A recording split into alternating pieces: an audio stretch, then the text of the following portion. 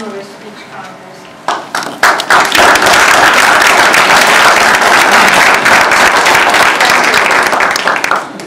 There will be a one minute of silence before the first contestant and between each contestant.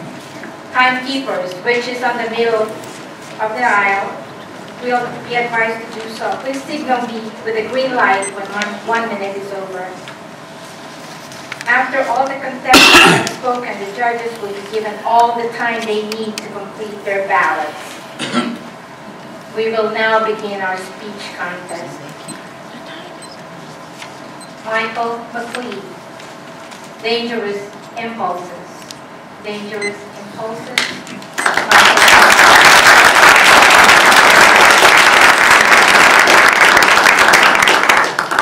Michael. Chair, fellow Toastmasters, honored guests, how are you all doing this fabulous evening? I wish I could tell you it was fabulous, but it's not. An epidemic is sweeping the nation, people. No, I'm not here to talk about our failing economy. I'm here to talk about something that the media has given far less attention to. And those fat cats in Washington would just as sweet under the rug. I'm here to talk about, of course, impulse buys. Impulse buys! You know what I'm talking about. You're at the grocery store, you're in the checkout line, you're minding your own business, not hurting anyone. And then all of a sudden, you turn around, out of nowhere, flash. You end up buying a cheap $2 flashlight. It's okay. Everybody can use a little flashlight. But later on that week, I'm at Home Depot. A little leery of the checkout aisle. But something about the place, the music, the aisles, the clever displays, something about it, I get wrapped up in the moment, before I know it, out of nowhere, boom, flash. I end up buying another cheap little flashlight that's remarkably similar to the flashlight I just bought. And I need to get home, where it's safe. So I'm home, surfing the internet. That's pretty safe, right? Reading a sports score or something like that, scroll down, something interesting on this side, click on something before I know it. Flash.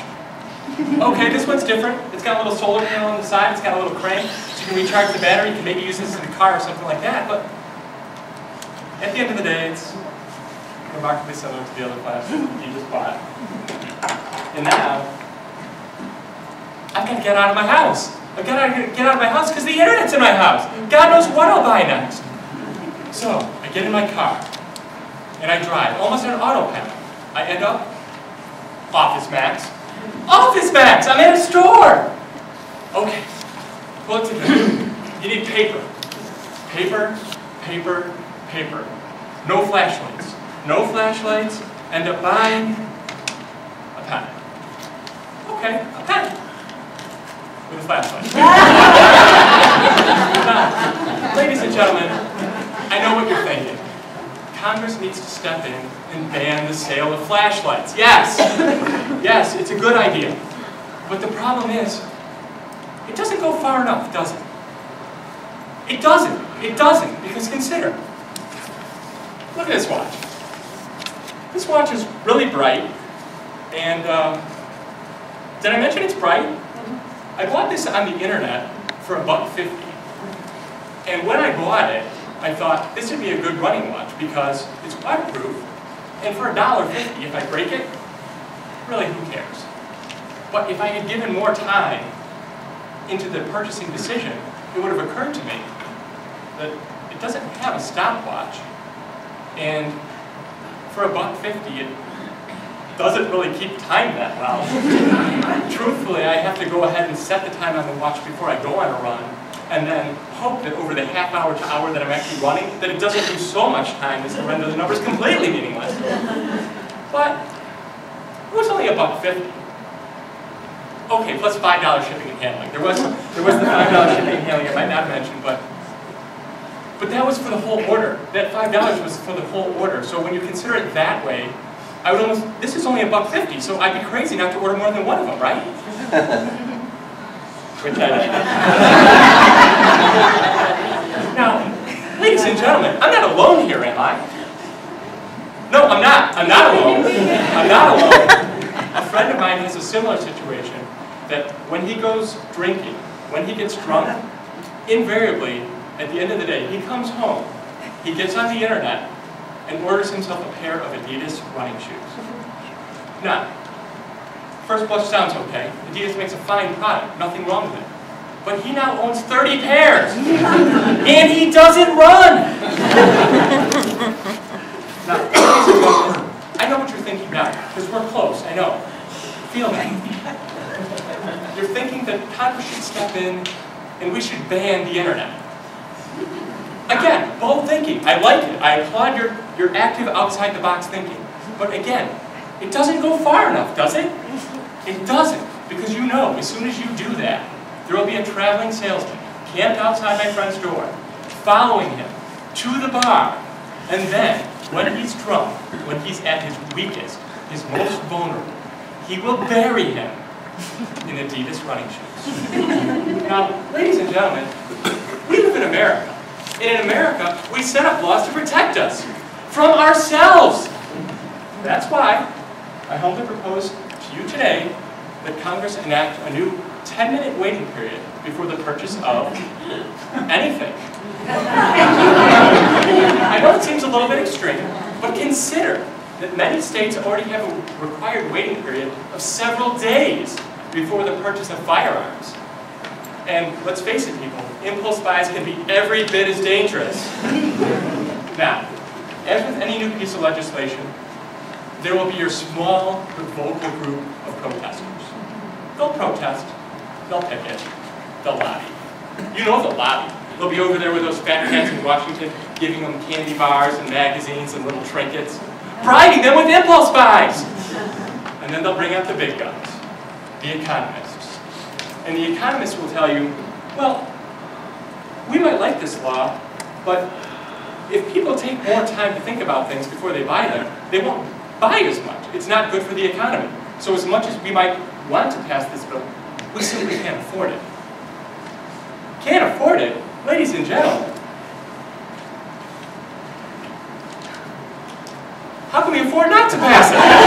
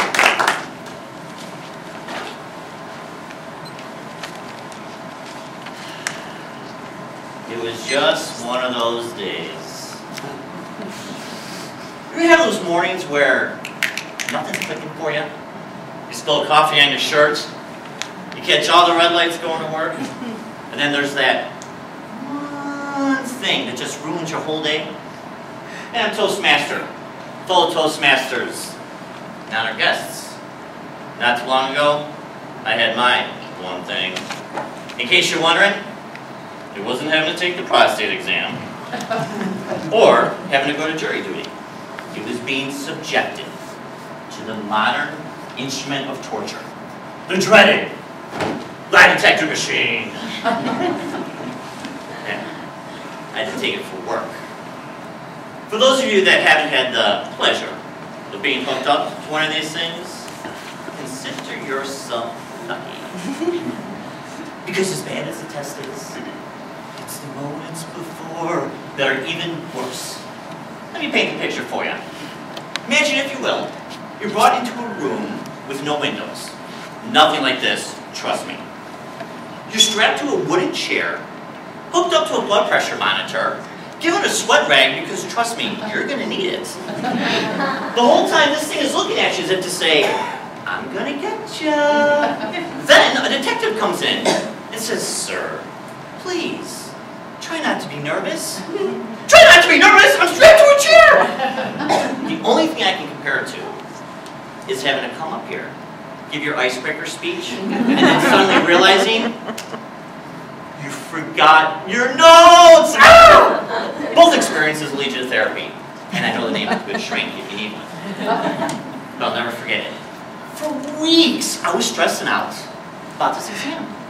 The day finally came for me to take the test.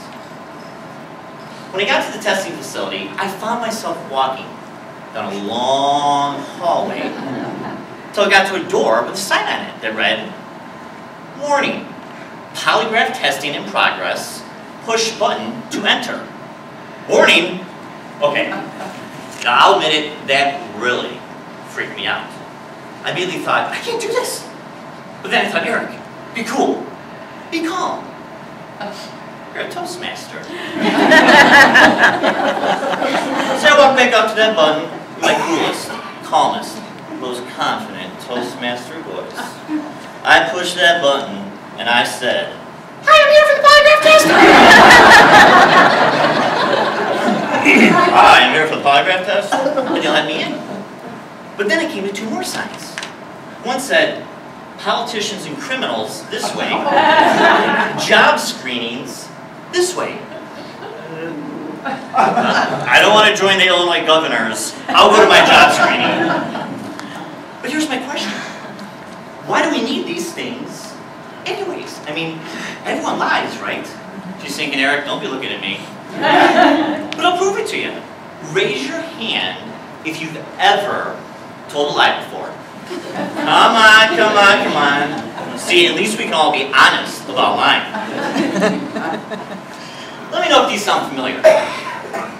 Anytime you end a relationship or break up with someone, you say, honestly, it's not you, it's me. Or when you, you sneeze on somebody, trust me, I'm not sick, it's just allergies.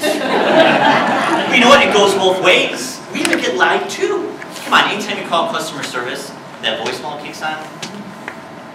We're currently experiencing higher than normal call volume, but your call is important to us. Yeah, right. We know the temp is out to lunch.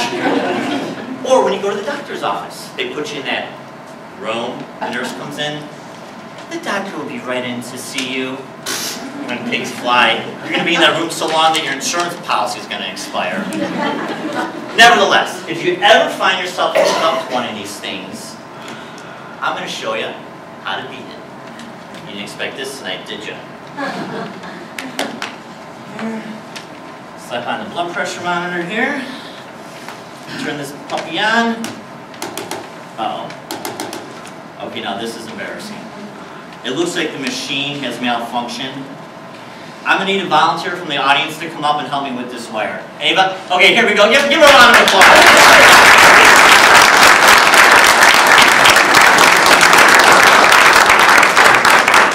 Actually, we'll swing this around here.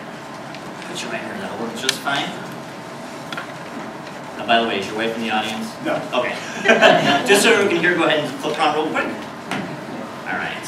Now, I lied. I actually don't need you to hold the wire. I need you to answer a few questions. But, but it'll be painless. Trust me. You do trust me, don't you? Yes. Okay.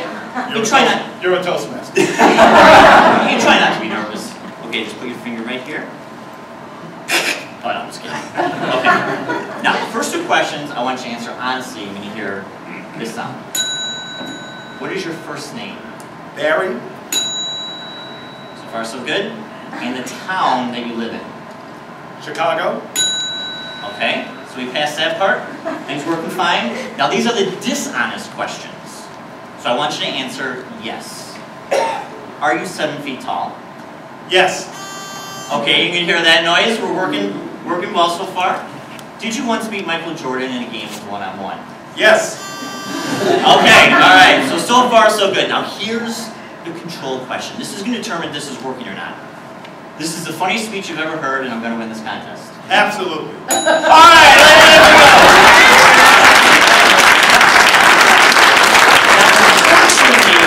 Now, Unfortunately, we're out of time. So I can't share all the tips and techniques. However, I will, I will share this with you. Something I tell my four-year-old daughter all the time, what this has taught me in this experience in this machine, it will always serve you well to tell the truth. Thank you for listening. You've been a great audience. Oh,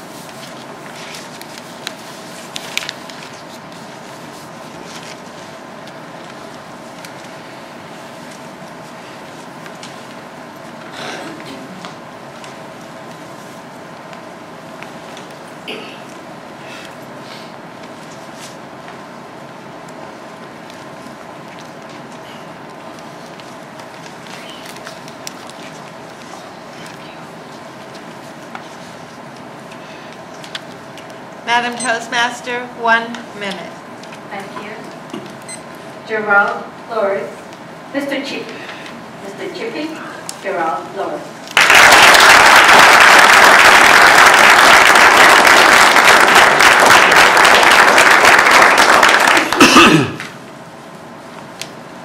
Fellow Toastmasters, yes. When my wife Annie and I drove into the driveway, we saw our sitter Hannah running with our three-year-old daughter in her arms yelling, Rats! Rats! Rats! I told Annie to go get Hannah while I would go inside and see what the problem was. When I entered, I saw my seven-year-old son, Chris, standing in the living room. Chris, I said, what's going on here? Aw, Dad, he said, it was only a chipmunk. It got in when I opened the door to the garage, and when Hannah saw it, she freaked. Not being a big fan of these tunneling rodents, I asked Chris where the chipmunk was now. In the kitchen, he said. Ah, Chris, I told him. Go get your hockey stick while I go get my bat. For you White Sox fans, this is the bat that Adam Dunn used this season. It's practically like new. There's hardly a ball mark on it. I also took off my shoes and socks to ensure maximum maneuverability. The hunt was on! I positioned Chris by the doorway, and I told him to be prepared to stop the chipmunk. Just pretend it's a brown puck, I said, and swing hard! As I entered the kitchen, I saw the chipmunk sitting on the countertop with its back towards me. Stealthily, I tiptoed closer, cocked the bat, and brought it down as hard as I could. Great plan, except I forgot about the globe light fixture that hung down from the ceiling just above the counter. The force of my blow shattered the globe, littering the floor with shards of glass and sending a vase of tulips crashing to the floor. The chipmunk shot for the doorway. However, with all this glass on the floor, a lot of it hidden by tulips, and me without shoes, I had to carefully tiptoe across the floor. Ah! Oh! Ah! Ah! Ah! Ah! I wonder if Tiny Tim ever had this problem. When I got to the doorway, I asked Chris if he had seen the chipmunk. No, Dad, I didn't. When was the last time we got this kid's eyes checked? I thought to myself. But before I could say anything, I heard chattering and looked up and saw the chipmunk sitting on the top step to the stairs leading to the bedrooms. The chipmunk was sitting on its haunches, chattering as if scolding me for trying to take a swipe at it. Go ahead, I growled. Make my day. I positioned Chris at the top of the stairs while I headed for the master bedroom where the chipmunk had subsequently shot into. As I entered, I saw the chipmunk sitting on the bed, our bed, and on my side to boot. I took the bat back and I swung for the fences. Unfortunately, the bat connected with the lamp on the nightstand before it could connect with the chipmunk. The chipmunk shot for the door. Chris, I yelled, enemy headed your way. I started racing after the chipmunk just as Chris was unleashing his slap shot, which to my horror missed the chipmunk by a country mile, but sat connected solidly with my right hand.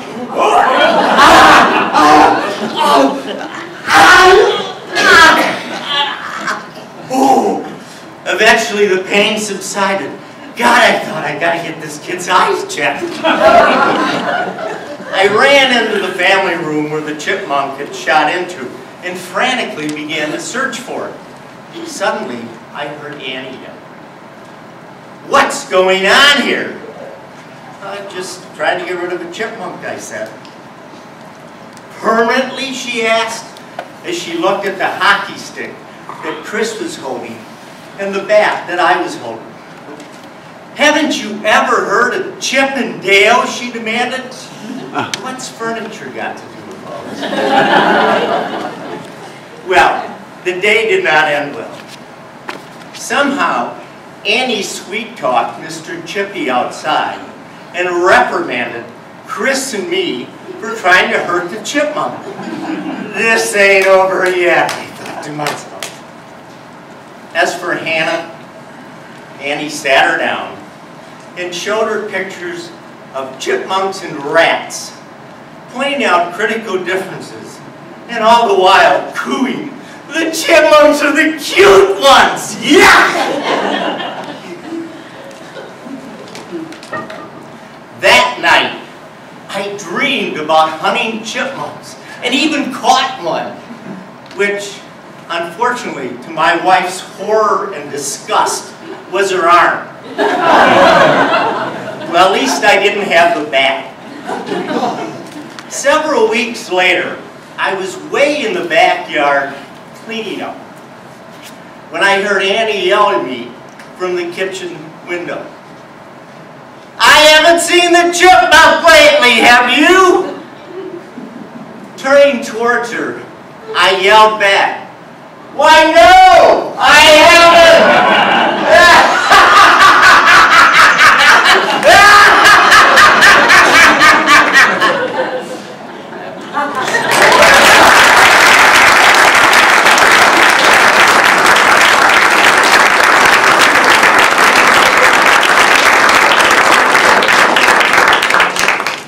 May we have a minute of silence, please?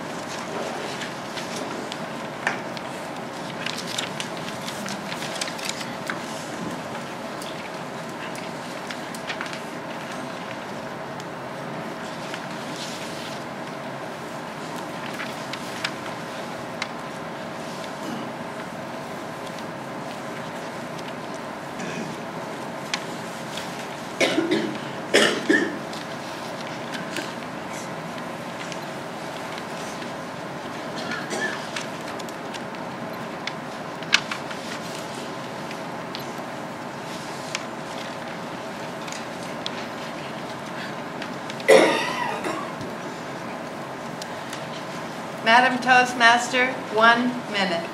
Thank you. Mike Preston, Grandpa's Wake. Grandpa's Wake.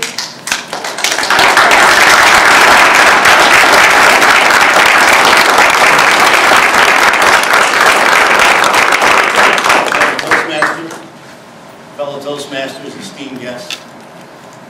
Reader's Digest states that laughter is the best medicine. We can say laughter is medicine, might we also say that laughing at oneself might be a tough pill to swallow? I'll let you be the judge of that after you've heard the events that took place. But before I tell you those events, I need to tell you a little bit about Grandpa so you understand. He came here from Sicily in 1910. He was nine years old. At that time, there were four children in the family. He was the oldest. About the time the Depression hit, well, Grandpa was a young man in his 20s, ready to really enjoy life, but his father liked to drink a bit. And so he didn't take care of the family business like he should, so Grandpa was compelled to try to put food on the table. So Grandpa grew up as a very forward person, uh, never saw Grandpa laughing and carrying on, very frivolous. One time at a Thanksgiving dinner, he took his wallet out while we were talking about past friends, threw his wallet on the table with, held together by three rubber bands, and he said, that's the best friend I ever had in my life. So I never saw my grandfather really laugh and carry on. But I wonder too, was he laughing at his wake? The wake was held in a cold October night in Chicago at the Montclair Lucania Funeral Home. I don't know if anyone in the crowd is familiar with that funeral home. It's on Belmont Avenue, just east of Harlem. And the, the Lucania family was good friends with my great-grandparents. When they came over from Italy, they were immigrants together. So all our wakes were held there. It's a very ornate, very old funeral home, three uh, service rooms in the, uh, in the parlor, and they were all full that night. And as I remember, if, if you can please visualize the casket. My mother and my aunt standing at the front of the casket, this is proper, greeting the mourners as they came through. Over here at the head of the casket was my two brothers and myself. And we were greeting the mourners as they exited the casket. Behind me, just off to my right, was a little stand, about as tall as that. Had slots in it. Being good Catholics as we are, people had left mass offerings in the slots. And I went to pull my hand out of my pocket to shake somebody's hand. Hit that little stand. All the mass cards hit the floor. And I thought, oh boy. Bent down, right behind me. Get those envelopes up. That's when I heard it. Shot back felt air conditioning where there should be no air conditioning. I was like a bird on a perch. I went, what just happened? Now, I had to have a plan. I've got to exit out of here. I'm in the front of the room. There's about 150 to 200 people sitting just like you are. So I eased myself, hoping that only the flower arrangement could see the back. I got to this wall. I started easing down that aisle. Couches and chairs. Thank God no one was sitting. People were stopping me. Mike, I haven't seen you in so... Yeah, yeah, yeah. I got, I got something. I'll talk to you later. I got to the back. I found my sister. And I said, go find mom. Because mom's a seamstress. Do you know what seamsters have in their purses? Needle and thread, of course. So I said, go find mom. I just off. Went to find my mother, and just at that moment, in walked the parish priest, making an announcement as he proceeded down the aisle. Please take a chair. It's time for the prayer. Can you imagine that dilemma? The last thing I wanted to do was sit in a chair at that moment. I didn't know what my pants would look like, probably the flag at the end of the attack on Fort Sumter. So I proceeded to get against the back wall at the door and look like a bodyguard. It was a Sicilian wake. I didn't think they'd think it was odd. So the prayer went on, and the prayer was over. Uh, my sister again, please find mom. Mom came, she said, I have a plan. I said, good, because I, I was out of plans. She said, go down the hallway to the bathroom, take your pants off and hand them out, I'll sew them up. You know, for the wear. So, sit down in the bathroom. First time I ever went in that bathroom, I walked in that bathroom, and to my horror, there was a couch, there was a payphone, there was a big silver ashtray, a guy sitting all over smoking cigarettes, and another door to the stalls. And I thought, this plan is not going to work too well. If I have to go in that stall, take my pants off, come out in my shirts and my jockeys, hand them out the door, and then just lean against the wall like it's just natural. I don't know. So I came out the door and I said, Mom, that's not going to work. She said, come on, back to the wait room. There's a closet there. You go in that closet, well, it was a double door closet. One side was latched, one side was open. People were putting coats in there. It was October, it was cold. In the closet I went, and the pants out. Mom went over this way somewhere to a couch. I couldn't see the door shutters. You know, people were coming to either put their coats in or get them out. And my hand would come out with a hanger. I don't know if they thought I was Lurch or who. They didn't say anything. They just grabbed, they just grabbed the hanger. Coat came back. Now, my uncle was working the room. Come on, you gotta see my, my nephew, Mike. He's back in the closet with his pants off. he was bringing people back on tours. My mother got the pants. While she was sewing the pants, I could hear people. Oh, Angie, so sorry to hear. What are you doing? I'm sewing my son Michael's pants. He's in the closet with no pants. she sewed him up. It was all over. Every week that I've been to since that day. Somebody puts up somebody that I don't know, and they're usually 20-something and blonde, comes up and taps me on the back and says, Michael, are you going to rip your pants for us again? So, I leave you with, you be the judge. You think Grandpa was finally laughing?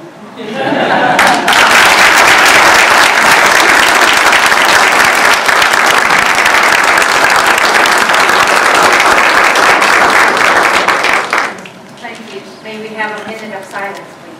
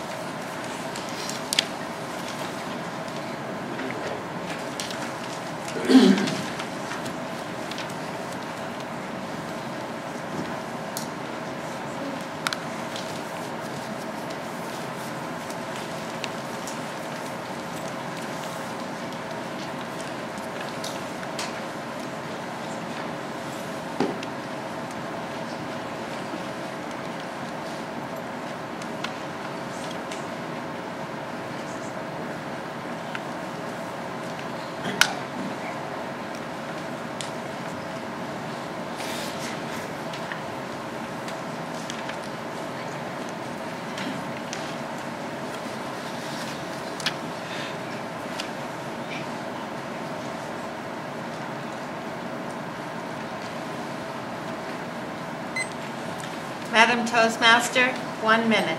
Thank you. Kristen Lindberg, it annoys me. It annoys me.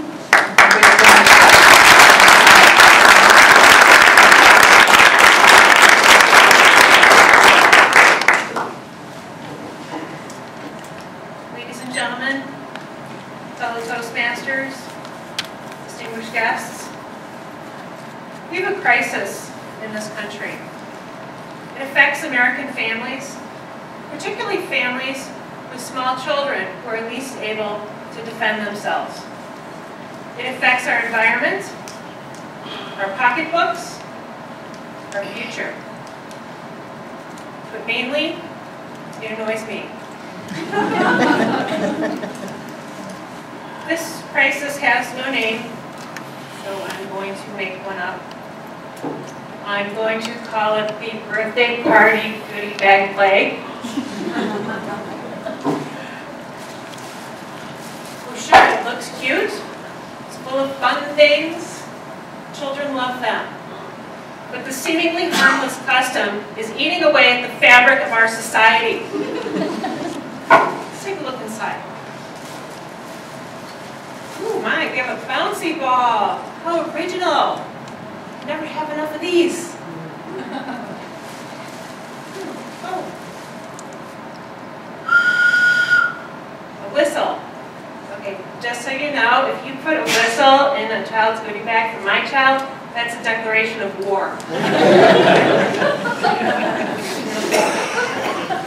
Oh my god, look what we have. Nail polish. This is gonna look amazing on my hardwood floors.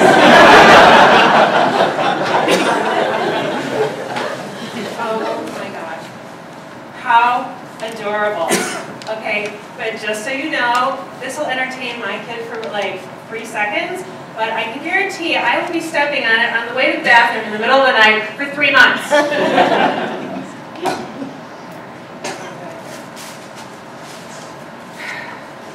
Let's take a look at the life cycle of the average birthday party goodie bag toy. This toy is given life in China. See, there he is. Why, why was he given life? Well, obviously to annoy me. From there, some deranged mother will purchase it and include it in 24 goodie bags. She will have stayed up well past midnight assembling. Within 12 hours, this toy will become lodged in between the seats of my minivan. and in six months, when I clean out my minivan, it will be dislodged and begin its journey to the landfill, where it will reside for 1,000 years.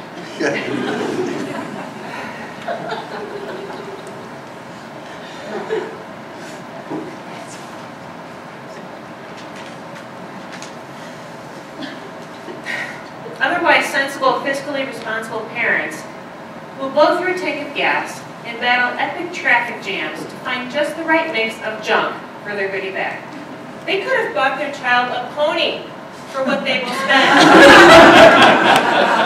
oh, and by the way, when I say parents, I'm really speaking of mothers. There's no man on this planet.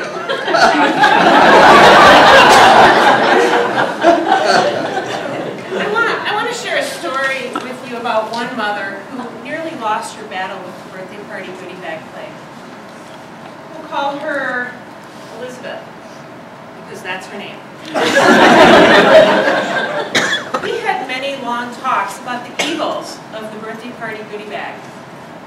We vowed to resist the pressure and support each other through these difficult times.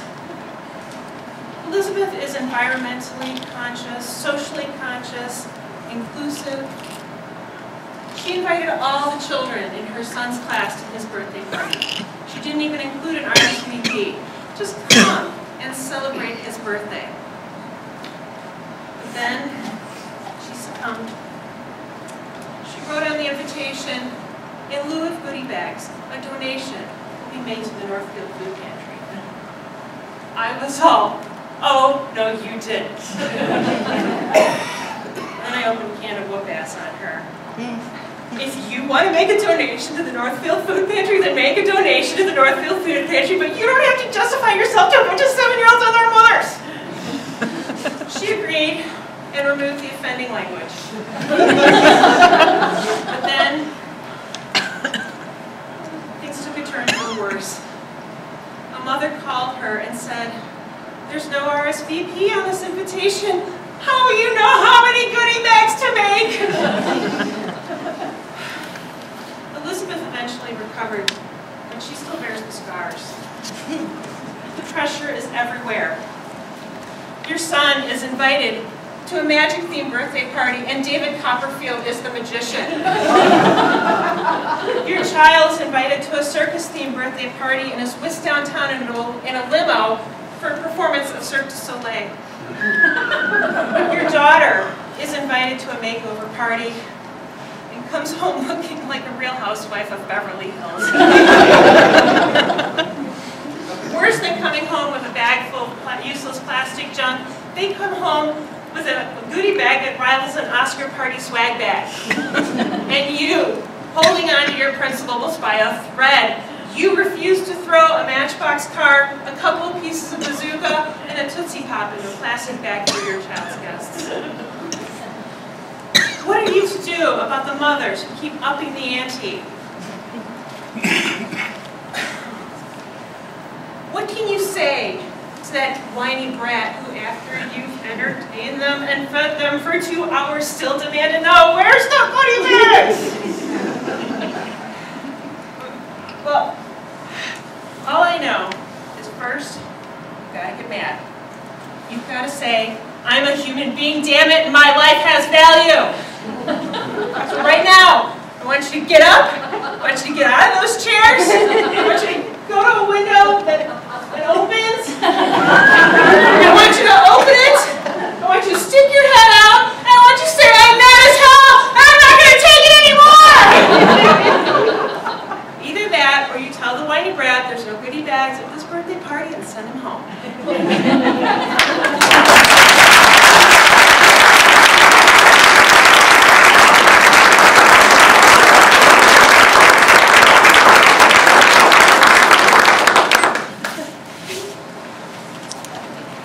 Thank you so much. May we have a minute of silence, please?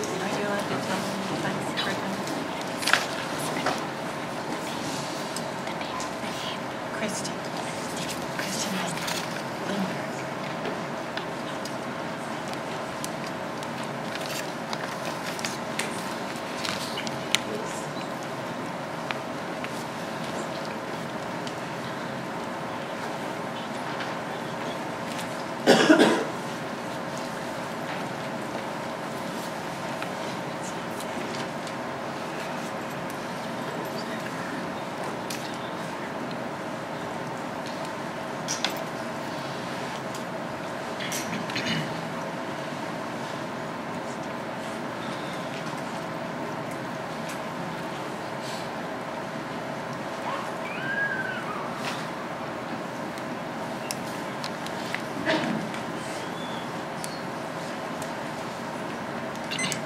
Madam Toastmaster, one minute. Thank you. Tom Kidd. If the smoke and the sun don't get me, the medical procedure will. If the smoke and the sun don't get me, the medical procedure will. Tom Kidd.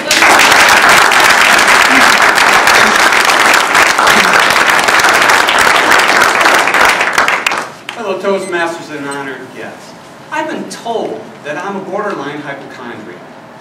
It's true that when I was growing up, I constantly ran to my mom with mysterious aches and pains, which she didn't always diagnose in the same way. She would take my temperature, poke and prod the area that I said was hurting, ask me to stick out my tongue and say ah, ah, and then she would usually say the same thing. You're fine. It's probably just growing pains. Suck it up and go to school. But it wouldn't be long before I had researched some new ailment that I knew I was dying of and run back to her. Now the downside of all that research is that to this day I constantly worry about things that I've done to myself and the health benefits and the things that have gone wrong because of choices I've made. Take smoking, for example. I first tried cigarettes in a Chicago alley in the 1960s with two friends and a pack of stolen cigarettes. we decided to see who could smoke the most cigarettes at the same time.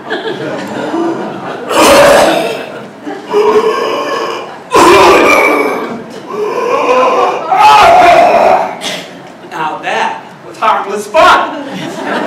At least I thought until high school health class. When all of a sudden I saw these pictures of lungs blackened by smoke. And I heard about how smoking damages the heart and their other organs. I knew I had done irreparable harm to myself through that smoking. In fact, it was just a week later.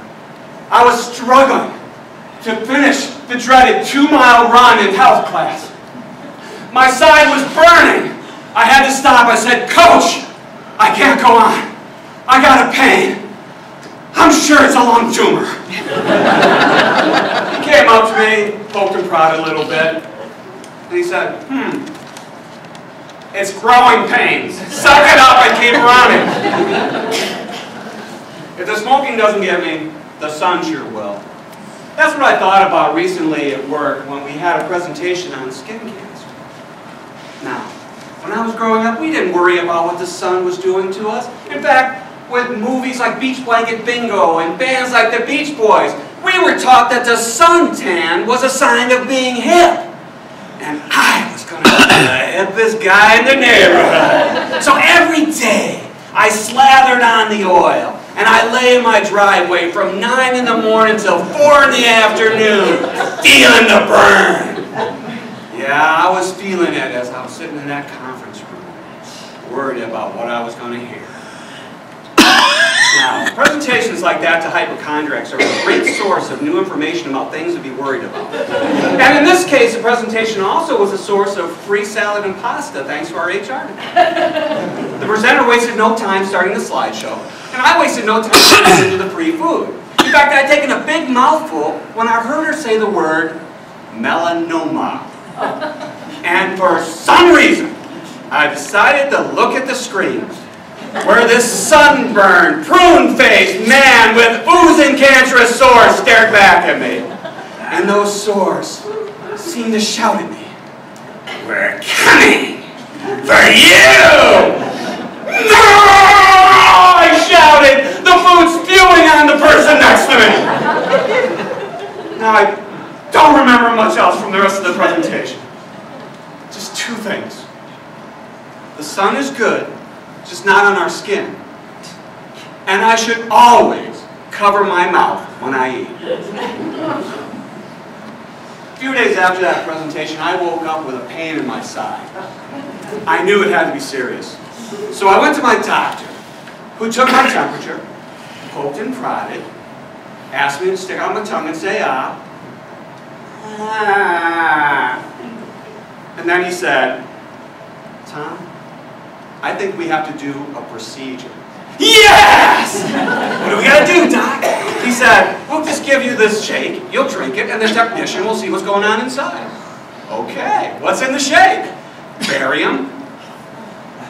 Why did my doctor think that I would get excited about drinking radioactive isotopes, even if the shake was called a berry, berry, barium shake? I didn't get it, but I did drink the shake, and then later I was laying on this machine. It was making this weird clicking sound. Later, I got my bill for my deductible portion, $865, mm-hmm. and I realized what the clicking was. It was like a meter on a taxi cab, every click was more money. He called me a few days later with the results. Everything in the area we scanned looked good, but we thought we saw a shadow on your spleen. I'd like to do another procedure. What am I going to have to drink this time? Oh no, don't worry. This time we'll just inject the radioactive material directly into your bloodstream. Great! So I was laying on a different machine with the technician hovering over. Now, fresh from his rotation at the Guantanamo Bay detention camp, the technician had this unique bedside manner. We can do this the easy way, or we can do this the hard way. The easy way is if you don't move. Because if you move, you blur, and we gotta start all over. And I want your arms out of the way. Get them up over your head, like this. Now you could try this if you want. It's comfortable for about a minute. After about five minutes, my muscles were starting to tighten. And after 15 minutes, My muscles were twitching and aching and pulling. I knew I had to do something. And so I remembered contortionists in a circus one time who could move. And I said, maybe I could do this without alerting the guard. I, I mean the technician. I said, contortionists in the circus get paid for this. But I'm paying for this torture. How much? Let's just say that my family took a staycation this year. And when people say, what'd you do this summer, Tom? I say, oh, you want to see the pictures for my liver spleen scan? the doctor called me a few days later into the office and said, everything looks great. It looks like it was just some growing pains. Why don't you lose some weight and suck it up? I left his office with mixed emotions, knowing that if the smoke and the sun don't get me, the medical procedures will.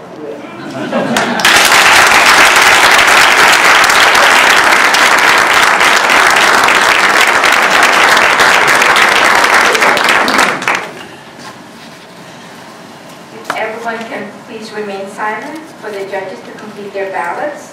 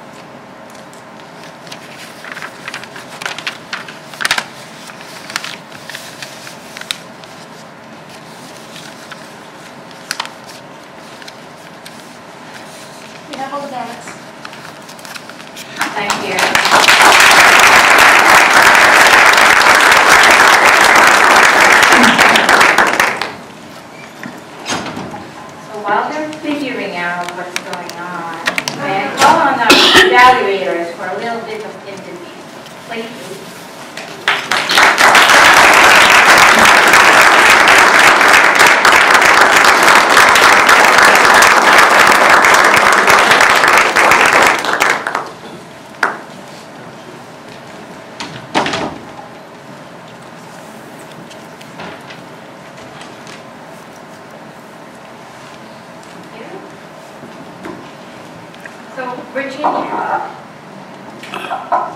I- I don't know you. What club are you from?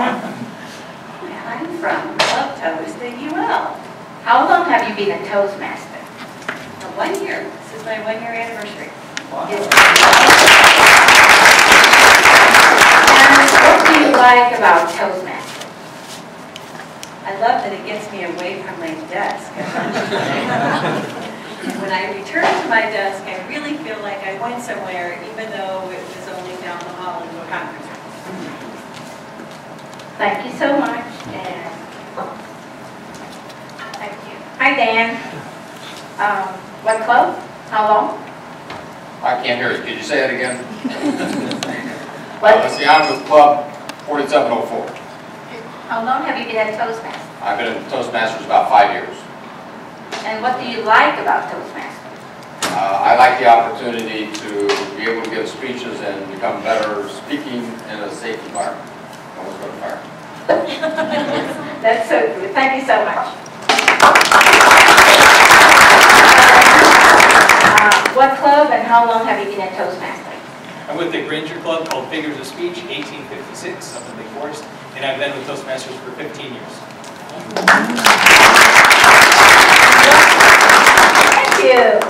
And what's the most interesting experience you have with Toastmasters? Uh, the most interesting experience I've had is uh, in January when I went to China on business. I had an opportunity to visit Toastmasters Club in China and meet with the, it was actually five clubs got together for one meeting, and it was a really unique international experience.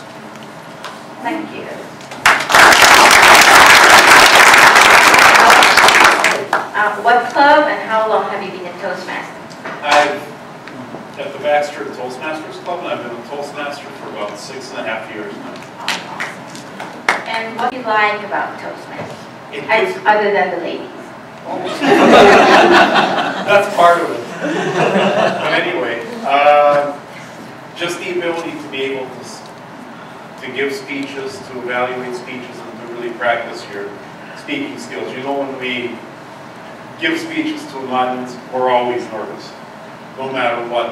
And it really takes a lot of practice to get rid of that nervousness and also to learn how to give effective speeches. It helps you with your work, it helps you with your communication with friends, and it's a great learning experience, and it's done in a free, non-intimidating environment.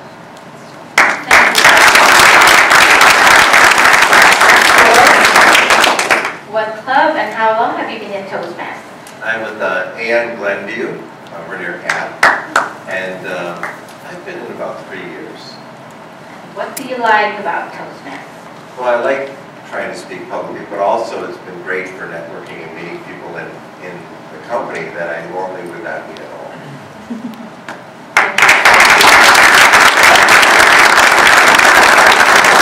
Bill, what club and how, and uh, how long have you been in Toastmasters? I'm part of uh, the club number 665. Uh, It is called the Niles Toastmasters Club. Our president Sang is over here to cheer me up and to give moral support. Thank you, sir. And how long have you been in Toastmasters? Since last year.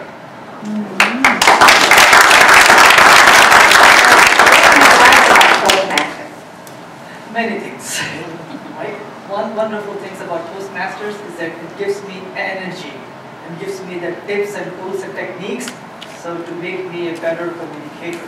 So if anyone who has not joined yet over here, I would urge you to join Toastmasters.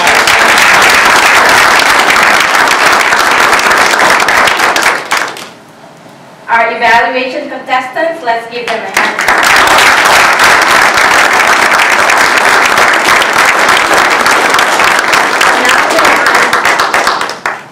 Call on our humorous speakers, please.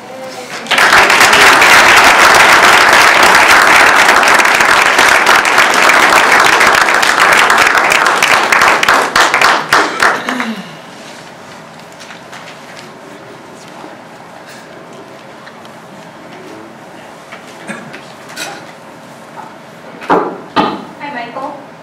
I know I butchered all their names, but they were so nice and didn't say anything to me. So I just went with the flow. Thank you so much for being so kind. Michael, how long have you been a Toastmaster and what club are you with? Uh, I'm with Hewitt Highlight, 897-901-3462. And I've been there about four years. And what do you like about Toastmasters? Um, I think it'd have to be the valuable cash and prizes, the raffles, the gifts, the, uh, the ladies, of course, as previously mentioned, and the impending fame that I expect will soon be hitting all of us.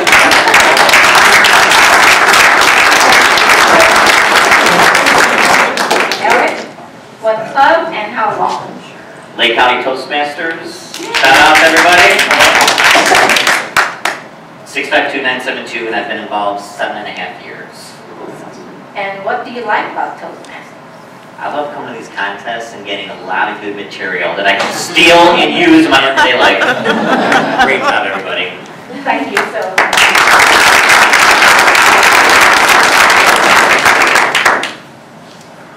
See, I'm getting help. I get confused which. Mike? Yes. Don't see the club number brand. Okay. What club and how long? Driving Communications with Donlin, or Northbrook. And we've been incorporated like five months, so I've been a member for five months. My whole team is over five months. Why did you join Toastmasters? I'm not going to ask you what you like about it because you're new. So why did you join Toastmasters? So I could come here tonight and give Eric some material.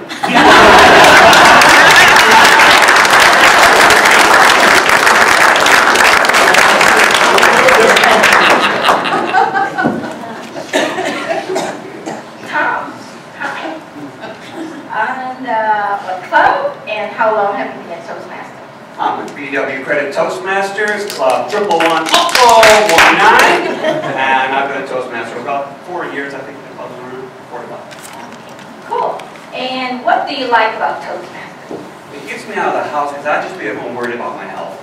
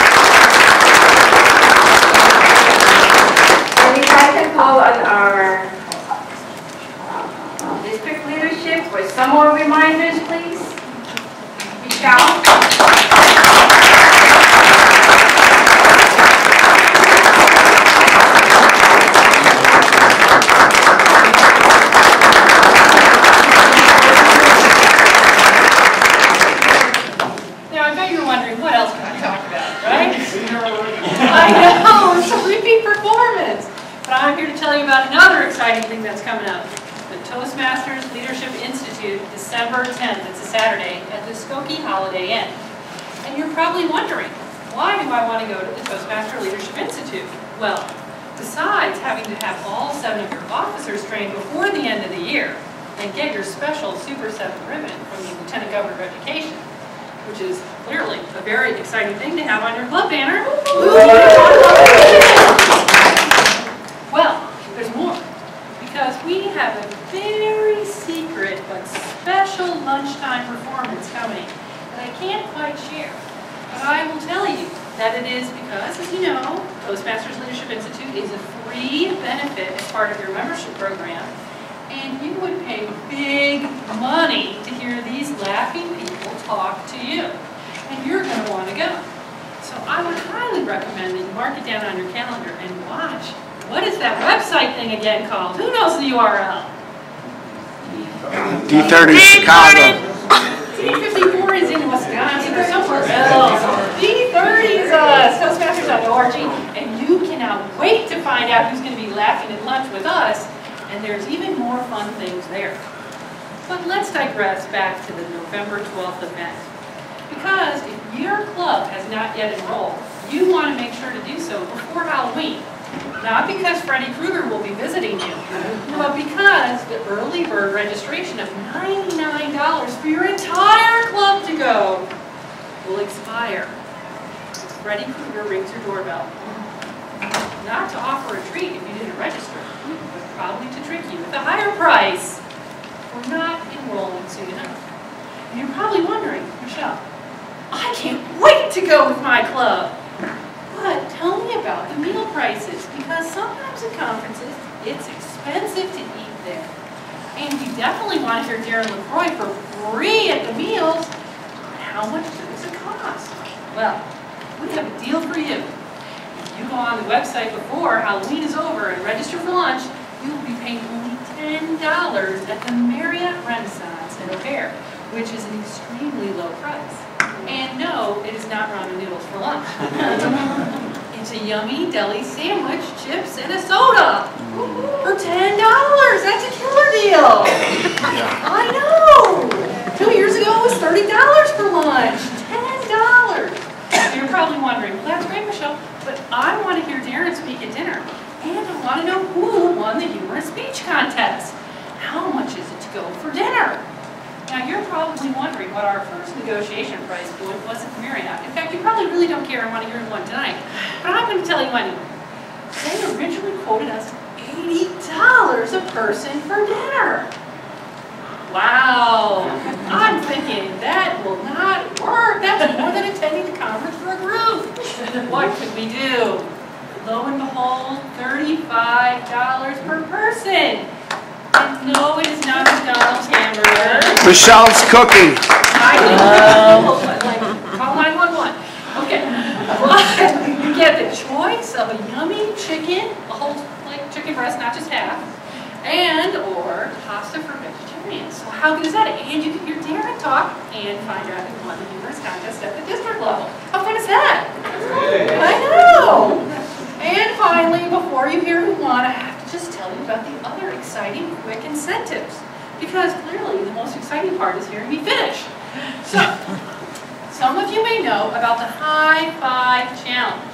Now this is important to you because Toastmasters released for the first time in 87 years a brand new brand. Now I know they did it to sell more banners. No, they didn't. Because now, of course, you know we're where leaders are made. And that means that all of us have to trade in all of our banners for brand new ones. And you're going to want to do this, you're going to want to win, because new club banners cost $100. $100, that's more than going to the fall conference. but you can get one for free. And I know you're wondering, dying to know, when is she going to stop talking? Well, all you need to do to win the High Five Challenge and hear me stop talking is five small things as a club. First of all, have to achieve the five DCP Distinguished Club Program points. And those are, because I know you're dying in suspense, the first two points are two Two CCs, right? So for four CCs. And then two more points for advanced communicators, points three and four, and one leadership award. Now, how many of you said you were going to the Achievers Breakfast at the Fall Conference? All of you should have your hands up. And that means that all of the clubs in the North should be winning the High Five Challenge and getting a free club banner.